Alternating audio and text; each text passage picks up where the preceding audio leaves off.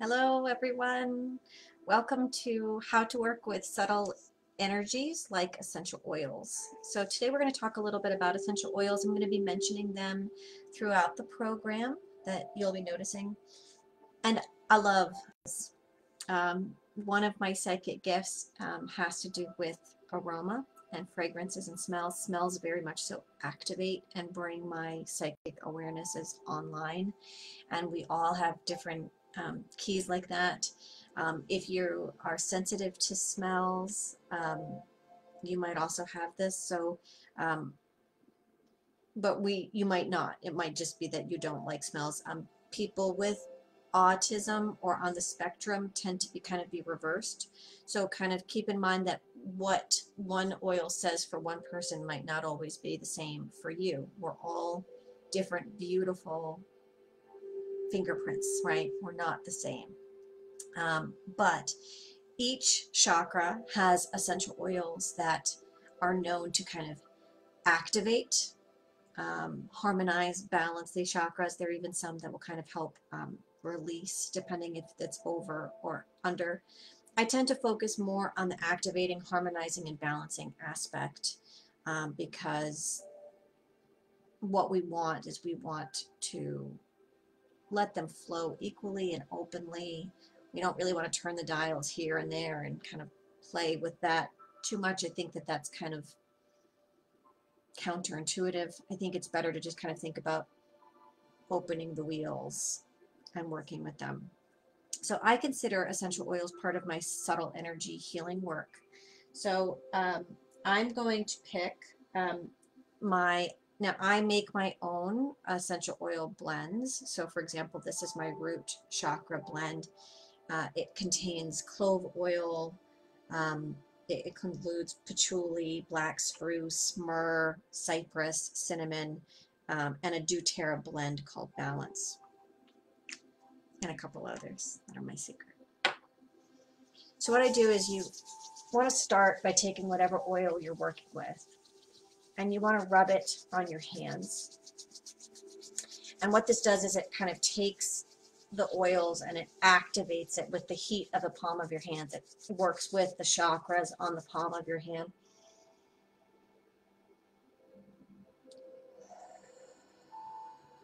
Deep breath in and out. And do it again.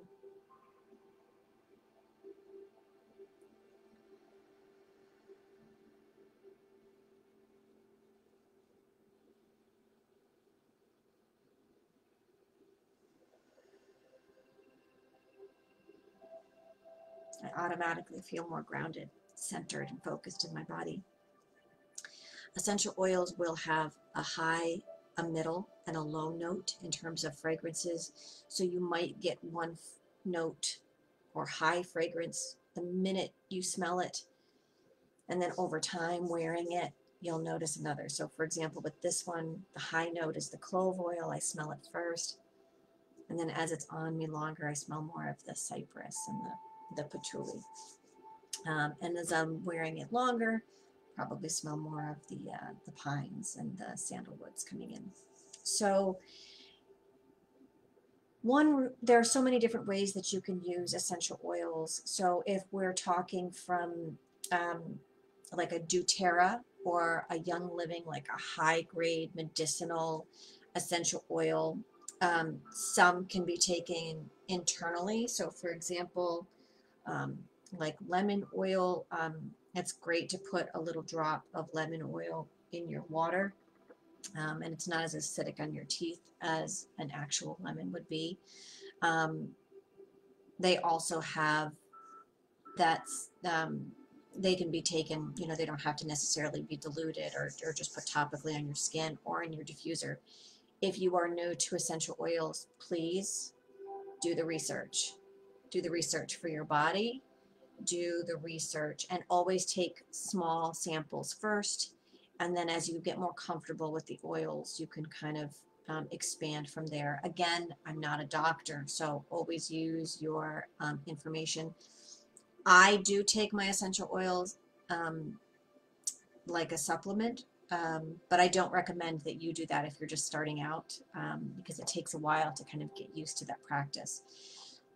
The best way that I think to use essential oil from a spiritual perspective is to take an oil that will activate whatever it is that you're working on. And the beautiful thing about nowadays is we can Google and look up all the different information about the oils and how they'll work with us. You can try it um, and see how it works with you. Always start small. You can dilute them with carrier oils like coconut oil or jojoba and put them in a roller bottle like this and make them for yourself.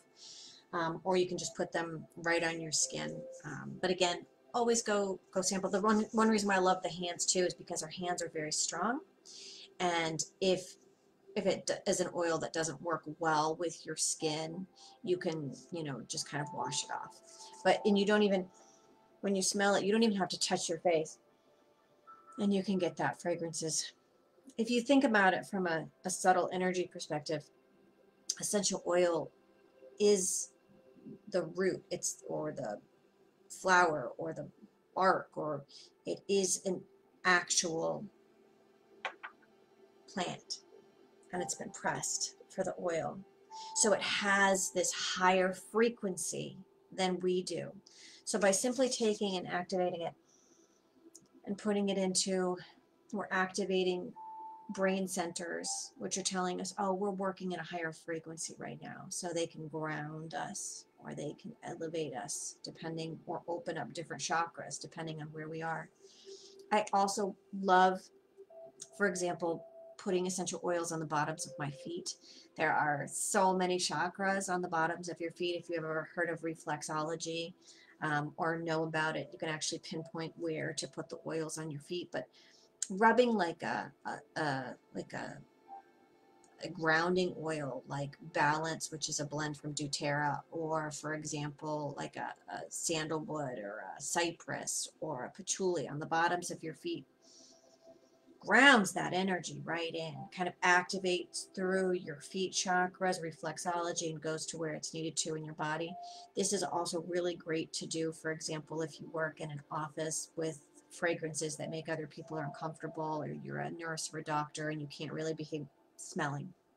Put them on your feet, um, and no one will even know that they're there.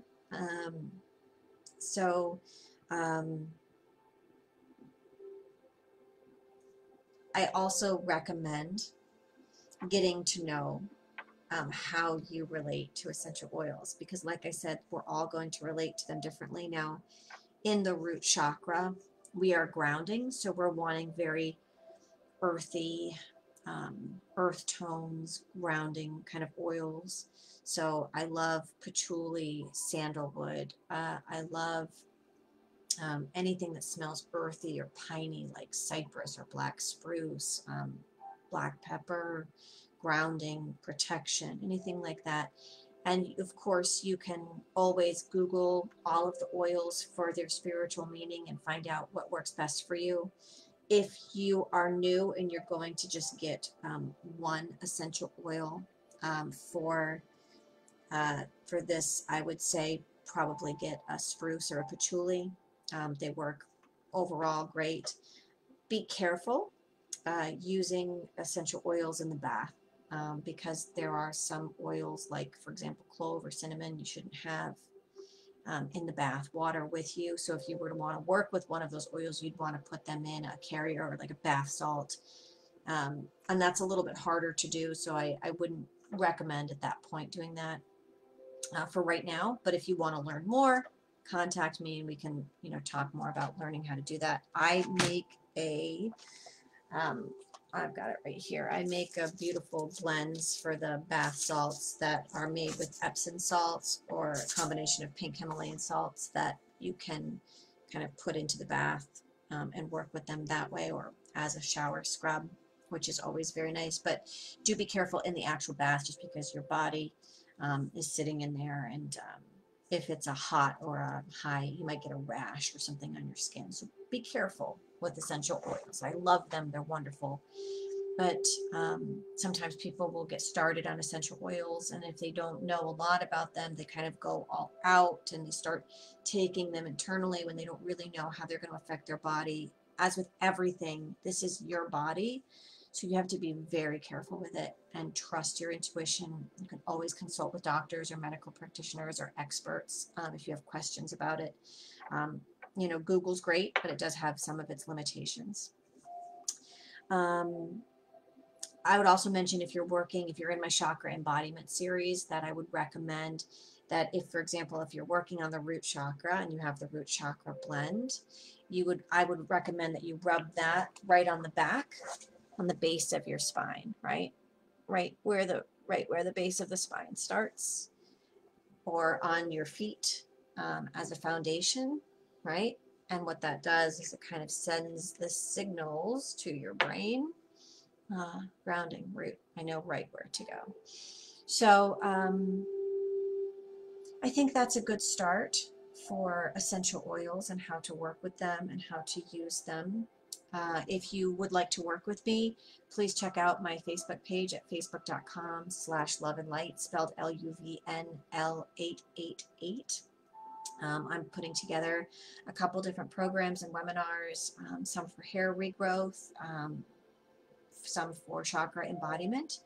And I'm also a Reiki master and crystalline soma healer. So I would love to work with you in terms of um, subtle body energetic healing, um, or if you're looking for a, a, a coach, someone to guide you on your spiritual journey, it would be my honor to work with you.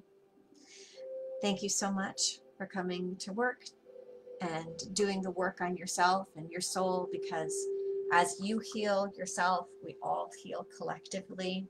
And so thank you for the work that you're doing on yourself and thank you for who you be. Again, I look forward to talking with you and connecting with you more. Blessings.